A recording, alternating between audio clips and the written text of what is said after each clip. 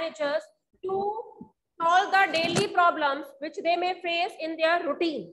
So, these are general guidelines then formed by practice and experimentation. पुराने managers ने अपनी life के दौरान जिन प्रॉब्लम्स को फेस किया, उनको कैसे सॉल्व किया, उसके सॉल्यूशन प्रिंसिपल्स में बता दिए as Henry Fayol Henry Fayol ने 14 प्रिंसिपल्स अपनी लाइफ में एज अ मैनेजर एक्सपीरियंस करे थे and what solution he made at that time that he presented in the form of principles of management, flexible. Henry Fayol ने कहीं नहीं बोला कि जो मैंने 14 के 14 प्रिंसिपल्स बोल दिए हैं, वो एज इट इज़ आपको अप्लाई करने हैं मीन्स वो पत्थर पे लकीर नहीं है।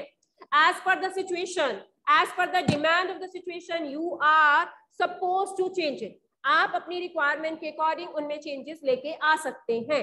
This is what we call flexible mainly behavioural all the principles of management are basically being applied on the employees, on the worker. You just have to manage their behavior. Cause and effect relationship. हर principle में cause and effect relationship है, जैसे हमारे science में होता है। Hydrogen के दो यूनिट डालोगे ऑक्सीजन का एक यूनिट डालोगे तो वाटर होगा। कॉज क्या है? Hydrogen two unit and oxygen का एक। और इफ़ेक्ट क्या हुआ? वाटर बना। यहाँ पे भी ऐसे है if you will be following unity of command you will be getting the better result if you are following division of work effect will be better result because all the specialists you appointed. Then contingent. It may vary from place to place. Okay? These are not fixed for every place. It may vary their applicability may vary from place to place. So these are the six points showing the nature of principles of management. Let's do assertion and reason. I will be stating two statements. For your convenience i am writing it on the board a. Everybody will think and then you will answer. Management principles are broad and genuine guidelines are. These principles help and guide them in managing business operations smoothly. Business operations smoothly. What it means? लाइनें दोबारा से पढ़ो. Management principles are broad nature इसके साथ है भाई. Broad and genuine guidelines is it true yes it is true क्योंकि पहला फीचर ही क्या है? दीज आर जनरल गाइडलाइंस ठीक है? पहला, पहली लाइन ठीक है. Then these principle help and guide them in managing business operation smoothly them का मतलब manager these are broad and general guidelines because these principles help them and guide them in solving the or in managing the business operation smoothly. मेरे हिसाब से first option के साथ जाएँगे A and R both are correct and R is the exact explanation और correct explanation of A let me check की इसने क्या की बनाई है इस क्वेश्चन की। आपके हिसाब से भी ए ही होना चाहिए यू टेल ठीक है? सो लेट सी बिल्कुल ठीक है यही है चलिए जी, आगे चलते हैं। ध्यान से सुनिएगा।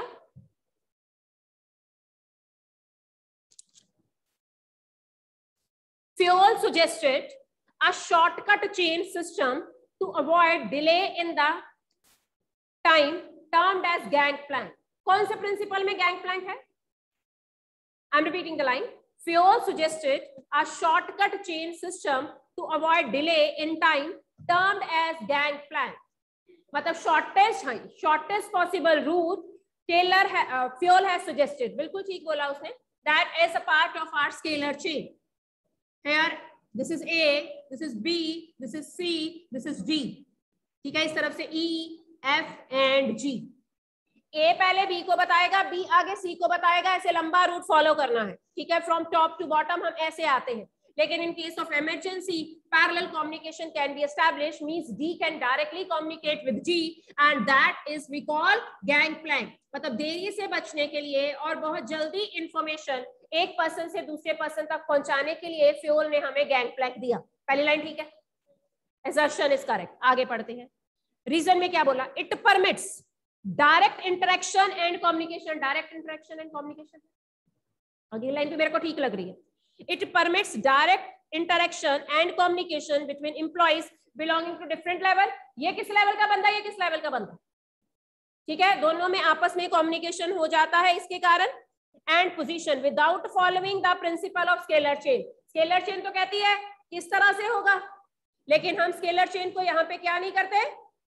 ब्रेक कर देते हैं। क्यों ऐसा करते हैं? क्योंकि इमरजेंसी सिचुएशन में हमें मैसेज बहुत जल्दी पहुंचाना होता है। मेरे हिसाब से इसका भी ए ही आना चाहिए। Both are correct and R is the correct explanation of A let me check इसने की में क्या डाला?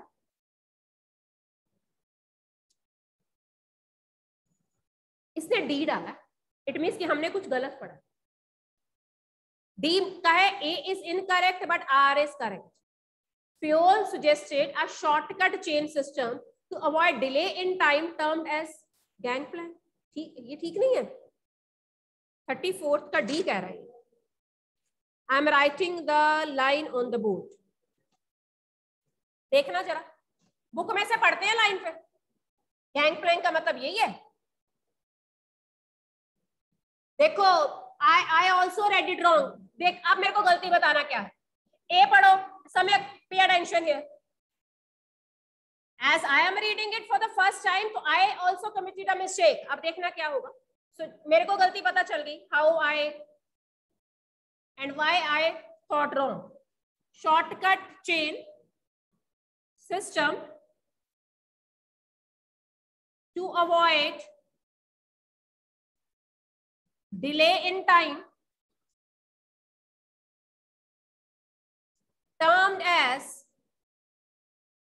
gang gangplank की डेफिनेशन बुक में से देखो। है आपके पास एनसीईआरटी गैंग प्लैंक की डेफिनेशन क्या? है इसी को गैंग प्लैंक कहते हैं जो लाइन मैंने लिखी। Suggested a shortcut chain system इसी को गैंग प्लैंक कहते हैं। जरा देखो। See from your book gangplank की उसने डेफिनेशन क्या दी है? I am reading the scalar chain An organization consists of superiors and subordinates. Formal lines of authority from highest to lowest ranks are known as scalar chain. Organization should have a chain of authority and communication that runs from top to bottom and should be followed by subordinates. Gangplank की definition क्या है? अगले page पे. According to Fiol, this chain should not be violated in the normal course of formal communication. However, if there is an emergency, then E can directly जैसे यहाँ पे D can directly contact G through gangplank as shown in the diagram this is the shorter route and has been provided so that communication is not delayed ठीक ही है? A is correct in practice you find that a worker can't directly contact the CEO of the company CEO पहले अपने junior को बोलेगा, उसका junior आगे उसके जूनियर को बोलेगा तो आप सीधा डायरेक्टली उसके साथ नहीं जा पाते हो। इफ़ ऑल ही और she has to then all the formal levels like foreman को बताओ सुपरिटेंडेंट को बताओ मैनेजर को डायरेक्टर को फिर सीईओ e तक पहुंचेगी बात। However, in an emergency, it can be possible that the worker can contact CEO. Line देखो फिर मैंने गलत तो नहीं आंसर देखा। मेरे हिसाब से तो ये करेक्ट है। It is a shortcut chain मेरे को लगता था गैंग प्लैंक की जगह शायद स्केलर चेन होगा। Word a shortcut chain system to avoid delay in time termed as gangplank. Gangplank ही है. Why he wrote thirty fourth का। थर्टी फोर्थ का इसने डी लिखा A is incorrect and R is correct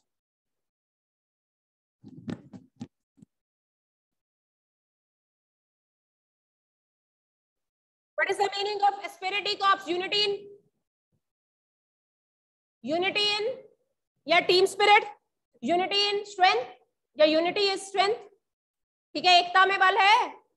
ठीक? Spirit de cops भूले हुए आज टेस्ट कहाँ से देना? चीटिंग करके? Spirit de corps team spirit ये प्रिंसिपल हमें क्या सिखाता है? मिलजुल के काम करना। I should be replace with we principle of spirit de corps refers to team spirit unity of and harmony in the business correct ठीक है आपको मीनिंग आता होगा तभी आपको पता चलेगा ए इज़ करेक्ट और not So A is correct here. Principle of Esprit de Corps refers to team spirit, unity and harmony in the business firm. R क्या लिखा? Management should promote a team spirit of unity and harmony among the workers or employees. दोनों correct है, लेकिन R is not the correct explanation, I think. है ना? Management को ऐसा करना चाहिए, लेकिन आर ए को सपोर्ट नहीं करता। दोनों करेक्ट है, मेरे हिसाब से बी ऑप्शन आनी चाहिए। अब देखते हैं इसने क्या लिखा है। बी ऑप्शन इज़ करेक्ट इसने ए ऑप्शन लिखा है। अब बोलो। देखो फिर। बिकॉज़ वर्ड लगा के पढ़े। Principle of spirit de corps refers to team spirit unity and harmony in a business firm because management should promote the team spirit of unity and harmony among the workers and employees अच्छे question नहीं बनाए। हाँ? दोबारा बोलो। और भी देखते हैं। नहीं नहीं, मैं ठीक देख रही हूँ। वही की देख रही हूँ। इसी चैप्टर की की देख रही हूँ। चलो और पढ़ते हैं। और वेरीफाई करते हैं बुक को। Employees are to be given authority along with responsibility कौन सा प्रिंसिपल है? Employees are to be given authority along with responsibility बिल्कुल ठीक पैरिटी मैं उसको पैरिटी बोलती हूँ। Parity between authority and responsibility जितनी अथॉरिटी दी है, उसकी बिल्कुल पैरेलल रिस्पॉन्सिबिलिटी भी दो। डन ठीक है employee should be given authority along with responsibility R grant of excess authority without matching responsibility will lead to incomplete and inefficient management अगर अथॉरिटी ज़्यादा दे देंगे और रिस्पॉन्सिबिलिटी कम देंगे, ये डेलीगेशन में भी पड़ा है authority can be misuse बोलो जी, कौन सी ऑप्शन बी क्यों? ए क्यों? दोनों, पहले पहले ये देखा करेंगे, दोनों करेक्ट है। हाँ। फिर ए क्यों नहीं? बी ही क्यों? क्यों क्यों नहीं? एक्सप्लेनेशन है, पढ़ो। Employees are to be given authority along with responsibility ठीक है? क्योंकि बिकॉज़ ग्रांट ऑफ़ उसने बोला अथॉरिटी और रिस्पॉन्सिबिलिटी बराबर होनी चाहिए। एम्प्लॉइज को उतनी अथॉरिटी दो जितनी रिस्पॉन्सिबिलिटी है, क्योंकि ज़्यादा अथॉरिटी अगर दे देंगे रिस्पॉन्सिबिलिटी के कंपैरिजन में तो that can be misutilize that can result in inefficient management तो ठीक ही तो है। ए है। बिकॉज़ वर्ड लगा के समझा करो। दो बार सोचो प्लीज़ इन्हीं चीज़ों में तो टाइम लगाना है आपने। सिंपल वाले एमसीक्यू तो जल्दी हो जाने हैं। ठीक है? यू हैव टू रिलेट तो ये ये ऑप्शन है। ऐसे ही डिस्कस करेंगे। तो सबसे पहले देखना है दोनों करेक्ट है कि नहीं? मान लो एक इनकरेक्ट है, फिर पहले ए और बी में तो जाना ही नहीं। फिर या तो कौन सी होनी है? सी ऑप्शन होनी है या डी ऑप्शन होनी है? पहले आपने ये जज करना है दोनों करेक्ट है कि नहीं? अगर दोनों करेक्ट है, फिर ही कंफ्यूजन की बात है। ठीक है? क्योंकि या ए है या बी है। उसमें बिकॉज़ लगा के सोचेंगे, कुछ और प्रैक्टिस करते हैं, फिर पता चलेगा। पहले मेरे को बताओ डिविजन ऑफ़ वर्क क्या है? मीनिंग आता होगा, तभी असर्शन और रीजन को अंडरस्टैंड कर पाओगे ना। But is meaning of division of work the work should be divided into small units and each small unit is to be given to a specialist person जिसका उसकी में इंटरेस्ट है, जिसकी उसमें कमांड है। जो बंदा उसमें एक्सपर्ट है उससे वही काम करने को दो, ताकि वो काम अपना अच्छे ढंग से करे। Right right? देखो जी एसर्शन में बोला as per principle of management division of work the entire work और task are to be divided into small unit ठीक है? छोटे छोटे हिस्सों में बांट दो। आगे चलते हैं। रीजन में क्या लिखा? It helps in delegation of authority and responsibility it helps in delegation of authority and responsibility पहली लाइन करेक्ट है? पहली लाइन का और दूसरी लाइन का आपस में रिलेशन है? अच्छा कोई रिलेशन नहीं थोड़ा अब नहीं, मेरे को पूरा बताओ। हम्म पहली लाइन का, दूसरी लाइन के साथ, या दूसरी लाइन का, पहली लाइन के साथ कोई रिलेशन है?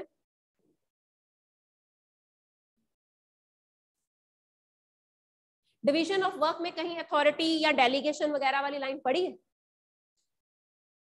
या डिवीज़न ऑफ़ वर्क में delegation and delegation of authority and responsibility होता है? डिवीज़न ऑफ़ वर्क का मतलब तो एलोकेशन ऑफ़ ड्यूटी है। तो वहाँ पे uh, इसके according delegation of authority and responsibility नहीं आप चाहे सारा पैराग्राफ पढ़ लो अपनी एनसीआरटी का। तो according to him he says first line is correct and the second line is incorrect पहले तो आपस में कोई रिलेशन नहीं है। पहली लाइन से आप सबने एग्री किया the work is to be divided into small unit ठीक है? और second line he says this is incorrect because it never results in delegation of authority and responsibility delegation तो तब होती है ना जब सुपीरियर अपना कोई काम, अपने जूनियर को करने को देते। यहाँ पे तो उनका हिस्से का काम उनमें बांटा है।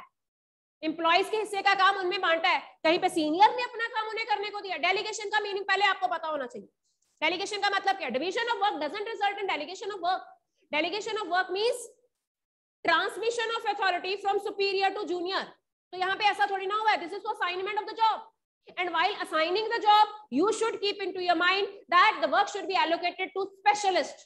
जो बंदा जिसमें एक्सपर्ट है, उसे वही काम दो। मैं बार बार वही एग्जांपल देती हूँ, जिसकी एमबीए फाइनेंस में उसे फाइनेंस मैनेजर बनाओ। जिसकी एमबीए मार्केटिंग में है, उसे मार्केटिंग मैनेजर बनाओ। जो बंदा इंजीनियरिंग बैकग्राउंड का है, उसे मैकेनिकल जॉब दो। उसे इंजीनियरिंग वाली जॉब दो। ठीक है? उसे प्रोडक्शन डिपार्टमेंट का हेड बना दो ताकि वो मशीन के ऊपर चेक रखे। You are getting me so this is the meaning of division of work. So it is a is correct and r is incorrect. This is c, option is correct. आगे चलते हैं। Initiative का मतलब बोलो पहले। Initiative means what is the meaning of initiative initiative का meaning क्या? Initiative का एक प्रिंसिपल है ना? Principle of initiative where by suggestions are collected और डिमेंडेड फ्रॉम एम्प्लॉयज़ एम्प्लॉयज़ को बोला जाता है कि ऑर्गेनाइजेशन को इंप्रूव करने के लिए अगर आप कोई सुजेशन दे सकते हो तो दो। और इसी के अंडर हम लोग अपनी कंपनीज़ में सुजेशन बॉक्स लगाते हैं। ठीक है? और वहाँ पे कहते हैं कि हिडन मतलब अपना नाम लिखे बिना या नाम के साथ आप अपनी सुजेशन दे दो। अगर हमें सुजेशन पसंद आएगी तो वी कैन इम्प्लीमेंटेड और जिसकी सुजेशन इंप्लीमेंट होगी उसे रिवॉर्ड भी दे this is what we call initiative मतलब as per the initiative principle we never snub our employees let me read the definition of initiative given in your book एक paragraph है. Workers should be encourage to develop and carry out their plans for improvement workers को बोलना है कि organisation के improvement के लिए अगर आपके पास कोई प्लान या सजेशन है तो आप हमें दो। फ्यूल क्या कहता है? Initiative means taking the first step with self motivation means वो अपने आप आगे आए, क्योंकि हम उन्हें दबाते नहीं है। Important part in parcel of the concern हम उन्हें ये फील करवाते हैं कि they are important for us right आगे चलते हैं. It is thinking out and executing the plan हम उन्हें बोलते हैं कि आप हमें बताओ कि कोई भी प्लान आपके माइंड में है जो हमारी ऑर्गेनाइजेशन के लिए बढ़िया है, आप उसके बारे में सोचो और हमें बताओ. It is one of the traits of an intelligent person जो अच्छे आईक्यू वाला बंदा है, वो कुछ हटके सोचता है। मीन्स इस प्रिंसिपल के according we are just exploring the hidden qualities of our employees we are giving them initiative we are not snubbing them her line important है पैराग्राफ की initiative should be encourage but it does not mean going against the established practices of the company for the sake of being different पर इसका ये भी मतलब नहीं है, क्योंकि आप बाकियों से डिफरेंट बनना चाहते हैं तो आप पुराने रूल्स तोड़ेंगे। नहीं। आपने कुछ हटके सोचना है और जो हटके सोचा है, पहले अपनी मैनेजमेंट को बताओ। अगर उसको विश्वास होगा इस चीज़ के ऊपर तो वो इंप्लीमेंट करेंगे। हम कंपल्सरी नहीं है कि मैनेजमेंट आपकी बात माने। और मैनेजमेंट को आपकी दी हुई सजेशन अच्छी लगे या बढ़िया लगे।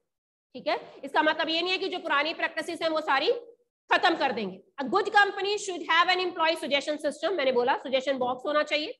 Initiative suggestions which results in substantial cost, time reduction should be rewarded मान लो किसी एक एम्प्लॉय ने मेरे को इस बात की सुजेशन दी कि हमारी पुरानी मशीन ना बहुत घिस गई है, जिसके कारण बहुत धीरे धीरे प्रोडक्शन होती है। वी शुड रिप्लेस इट जिससे हमारा कॉस्ट ऑफ़ प्रोडक्शन कम हो जाएगा। तो we can definitely implement cost of production her company कम करना चाहती है।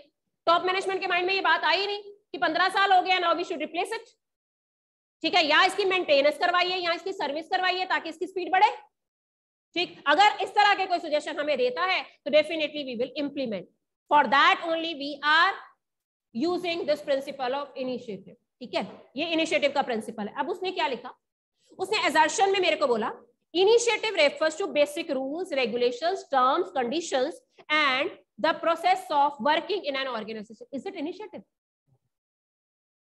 Initiative refers to basic rules, regulation, terms, condition, and the process of working in an organization. It is disciplined by discipline rules और regulation होता है तो इसने initiative की डेफिनेशन ये बना दी इनिशिएटिव डजंट मीन दिस मेरे हिसाब से ए ही इनकरेक्ट है फ़िलहाल तो मैं जो अभी मैंने आंसर नहीं देखा इनिशिएटिव की डेफिनेशन तो नहीं है ना ये will you agree can initiative be a rule and regulation can it be a process no आगे चलते हैं आर में लिखा। Unity of direction is the principle suggested for one plan for one unit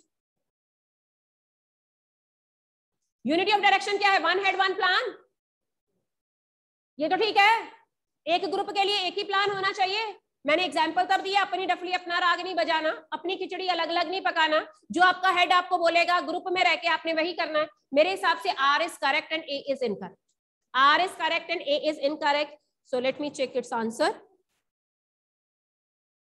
ठीक है? जी A is incorrect and R is correct क्योंकि ऊपर वाले में उसने बात किसकी करी? इनिशिएटिव की, वो भी गलत। उसने डेफिनेशन डिसिप्लिन की लिखी है और बात कह रहा है कि ये इनिशिएटिव की है। अगली लाइन उसने बिल्कुल ठीक लिखी है। किस चीज़ के बारे में अगली लाइन यूनिटी ऑफ़ डायरेक्शन के बारे में। सबकी टैगलाइन याद करो भाई। यूनिटी ऑफ़ कमांड की टैगलाइन क्या है? हाँ। क्या क्या मतलब? टैगलाइन बोलो। One employee should receive order from one boss ठीक है? वन एम्प्लॉय और one subordinate should receive order from one boss done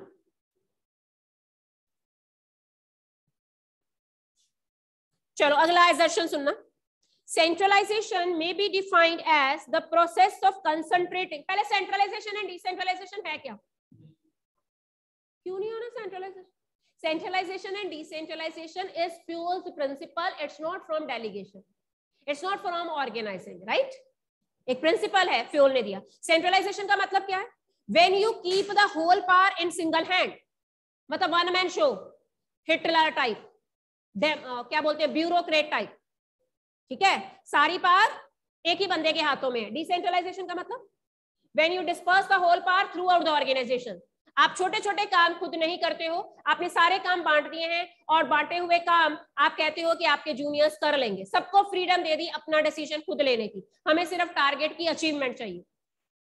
Can there be the extreme of both और इधर और can we have the total centralization in an organization और can we have the total decentralization in the organization no Fayol is of the opinion we should always है proper mixture of both जो बहुत ही important चीज़ें हैं वो अपने पास रखो। जैसे मेरी इंडियन गवर्नमेंट ने रखा आर्म्स इम्यूनेशन न्यूक्लियर पार और अभी तक रेलवे भी अपने पास रखा।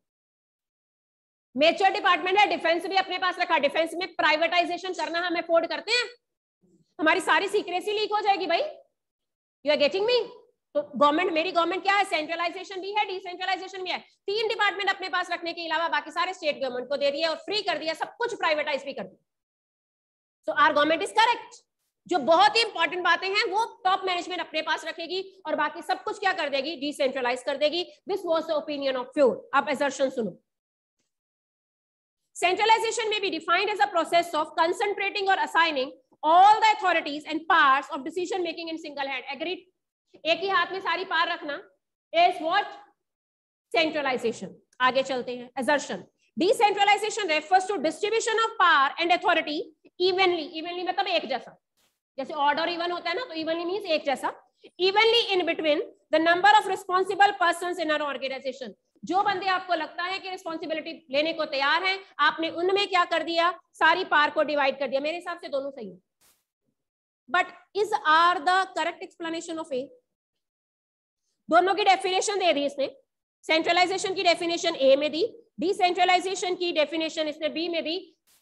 बिकॉज़ लगा के अगर मैं लाइन बोलू सेंट्रलाइजेशन में be defined as because decentralization refers to आपस में रिलेशन है? My goodness centralization refers to concentration of a power in a single hand. Because decentralization refers to, आपस में रिलेशन है? नहीं है.